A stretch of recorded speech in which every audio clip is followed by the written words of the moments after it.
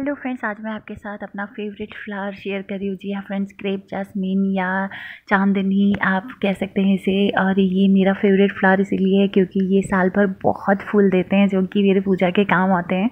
सो so friends इसे grow करना बहुत आसान है। इसे कटिंग से ग्रो किया जाता है। साल भर में आप इसे कभी भी ग्रो कर सकते हैं। बस इतना है कि इसे पंद्रह दिन शेडी एरिया में रखना होगा। अगर रेनी सीज़न ना हो तो।